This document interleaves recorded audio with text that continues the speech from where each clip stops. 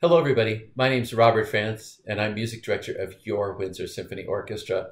And I'm here today to thank you for joining us this past weekend for a cake and a concert, our live streaming event. There were over 1,700 of you that joined us.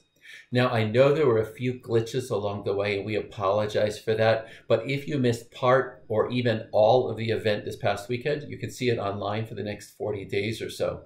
From that event, we received over $7,000 in donations from many of you, and we are so appreciative of that. We're also appreciative of the donors who gave anonymously to match it, which means that that $7,000 was double. That all works in support of our efforts to bring the WSO into your home. We are now reaching out into hospitals, to frontline workers, into schools, into retirement centers, and it's because of you, and we are so appreciative.